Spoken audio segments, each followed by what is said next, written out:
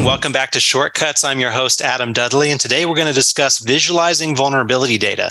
And this is a special topic and an exciting one because our guest's recent contributions in this arena have been hugely popular with the security community on LinkedIn and elsewhere. So he's a cybersecurity researcher and business leader known for his former role at Duo Security, not to mention his bowler hat and his vast collection of skateboards, some of which you can see behind him.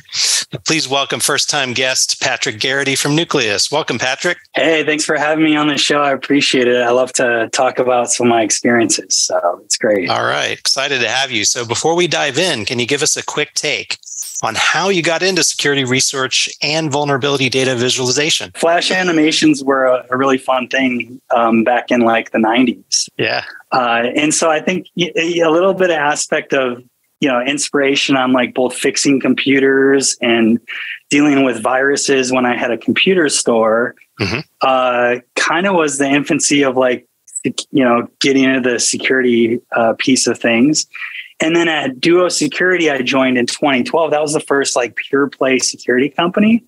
And I was a 12th, 12th employee. And we were one of the first cloud services. And one of the challenges was conveying how our service worked because it was so foreign that people mm-hmm. would be using a cloud service, especially for a security tool.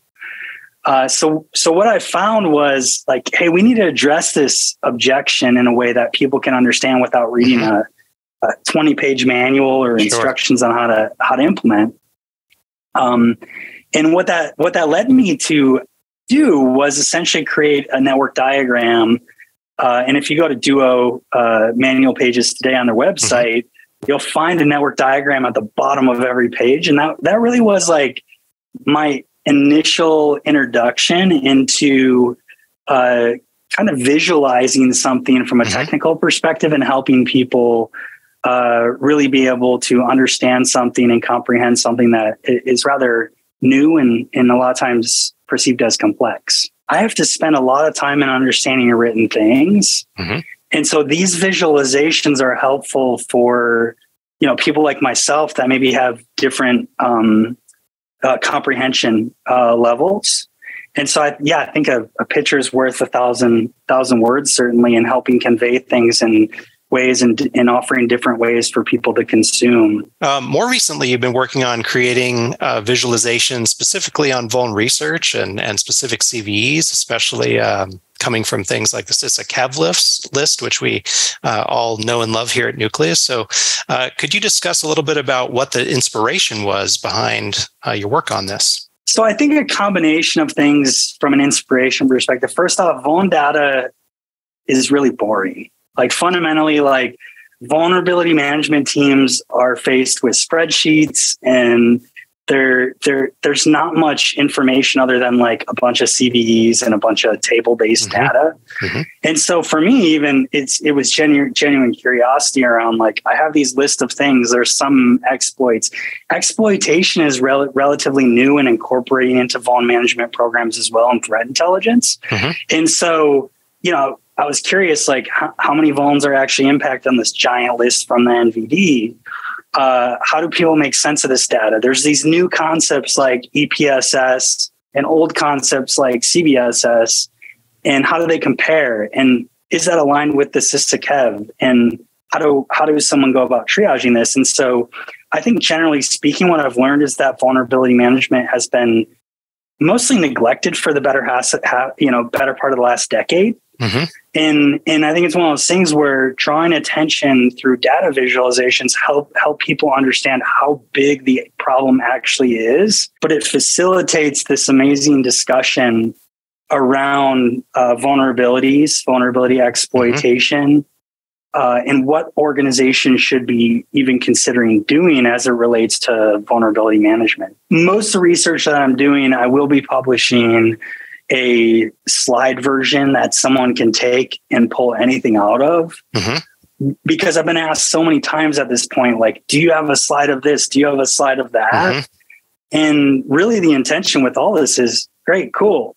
I made it. I, you know, we love people to adopt it because it, it just creates different perspectives and helps enable security teams and practitioners and researchers to be able to talk about these complex topics uh, at different levels within an organization. Um, I think you brought with you today some examples of some of your most recent and most popular visualizations. So, um, would you please uh, spend a minute or two just giving us a walkthrough of those? So, this is one of the first examples of a chart that I created or diagram. And as we can see here, it kind of explains a few different things and, and it resonated with people a lot.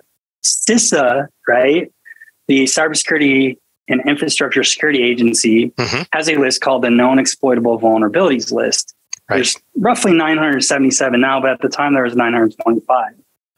What I want to do is map CVSS scoring, which is the most common scoring system adopted and specifically the base score, right? There are other mm-hmm. variants you can use from a scoring system. Right. And what you can see here, just starting there, is oh, wow, well, these are all exploited, but they're not all critical vulnerabilities as it relates to this scoring system.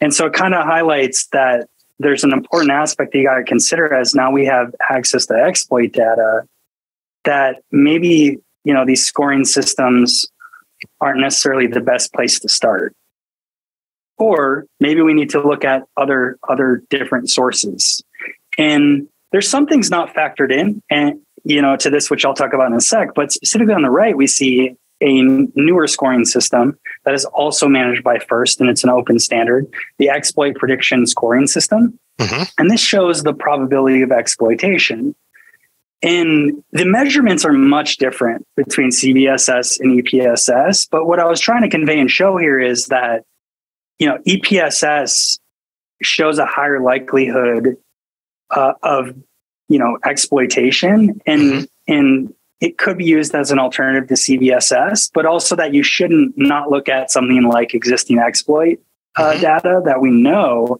has confirmed exploitation. So this facilitated a lot of good discussion. The other thing that's not factored in with the base scores and EPSS probability is the amount of work effort for the scores I set. The EPSS score, I just set some random scores that kind of gave it the look that it has. But the reality is, is, is a, a score of 8% is the equivalent of CVSS 7 from an exploit coverage perspective. Mm-hmm.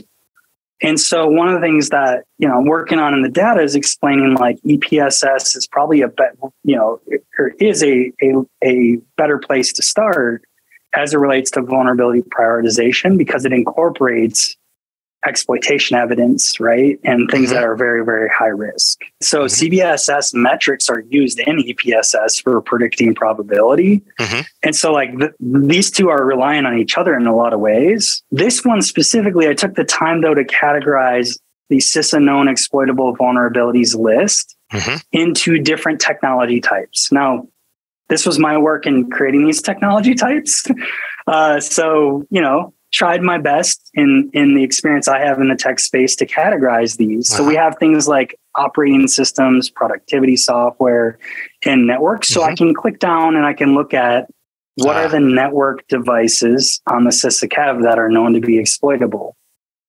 And we can see here things like, you know, Cisco, and then we can look at products. I'm using the categorizations from the KEV. We can look at, at Fortinet um, and some of the different impacted products.